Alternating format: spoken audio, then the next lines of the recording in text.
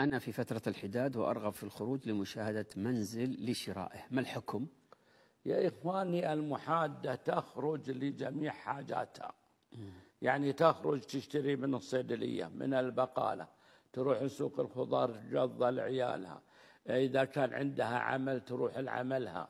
إذا كانت مشاركة في التحفيظ تروح تحضر دروس التحفيظ.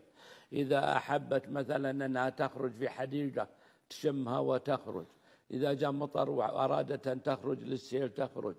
كل جميع حاجاتها تخرج لها. لكن بس في الليل في الليل. يعني إذا أرادت النوم تروح لبيتها. في حديث عن النبي صلى الله عليه وسلم أن نساء قتل أحد شهداء أحد. كنا يجتمعن عند إحداهن. يعني كل خمس ست سبع يجتمعن. فسألنا النبي صلى الله عليه وسلم قال إننا نجتمع عند إحدانا. ونبي نبيت عندها نريد أن ننام عندها. قال لا. تحدثنا فإذا أردتن النوم فلترجع كل واحدة إلى بيتها. نعم. فالنبي أذن لهن أن يروحن ويجتمعن ويسولفن.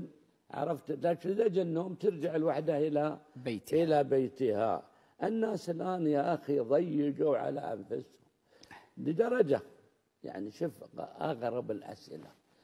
واحدة مع ولدها في شقة. شقتين متجاورتين في دور واحد. نعم. يقول لها ولدها تعالي عندي. تقول لا بجلس أحصي حدادي إيه، ما بجلس أحصي ما أجيك.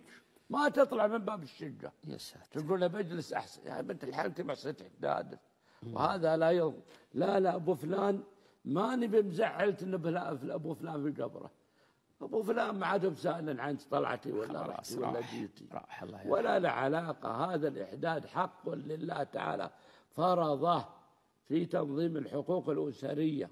لكن هكذا بعض الناس الآن تسأل تقول أنا في بيتي حوش يجوز لي أطلع في الحوش؟ ما تريد حتى تطلع من في نفس بيتها الحوش بيتها.